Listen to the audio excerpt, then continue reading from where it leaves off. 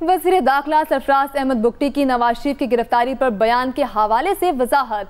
कहा बयान को सियाको सबाक से हटकर सियासी रंग दिया गया। नेगरा हुकूमत का कोई सियासी एजेंडा नहीं। वज़ीर दाखिला की जानब से कहा गया कि ये बात खुश आइंद है कि नवाज़ शरीफ पाकिस्तान की सियासत में वापस आना चाहते हैं। पाकिस्तान के आवाम का एक बड़ा हिस्सा उन्हें खुश आमदीद करने की तैयारियों में है। वज़ीर दाखिला सरफराज अहमद बुगटी की नवाज़ शरीफ की गिरफ्तारी पर बयान के हवाले से वजाहत आ गई है। उन्होंने कहा है कि बयान को सियाको सबाक से हटकर सियासी रंग दे दिया गया। सबक विफाकी वज़ीर दाखिला राना सनाउल्ला ने निगरान वज़ीर दाखिला सरफराज बुगटी के बयान को हद से तजावुज करार दे दिया। कहा सरफराज बुगटी साहब बयान देने से पहले वज़ीर दाखिला शेख रशीद का अंजाम देख लें।